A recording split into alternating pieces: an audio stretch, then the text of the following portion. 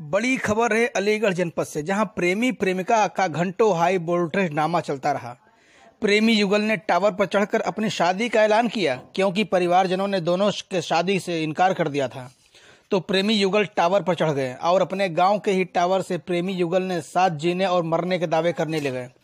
सूचना पर, मौके पर पहुँची पुलिस ने कई घंटों की मशक्कत के बाद परिजनों ने शादी के लिए जब मान लिया तो प्रेमी युगल टावर के नीचे उतर आया। पूरा मामला थाना विजयगढ़ के खिटौली गाँव का बताया जा रहा है। अगर सूत्रों की माने तो प्रेमी युगल